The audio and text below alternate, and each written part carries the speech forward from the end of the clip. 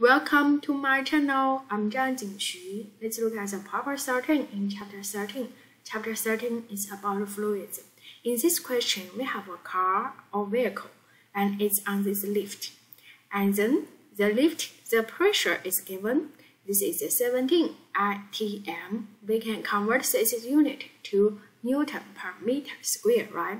And also the randoms for this uh, um, lift is also given. The next question, we need to find the mass for this vehicle. So now we look at the picture. We can see the lift must give a force to support this vehicle. This force called F. And this force must be balanced with the gravity for the vehicle. Do you agree? Yes.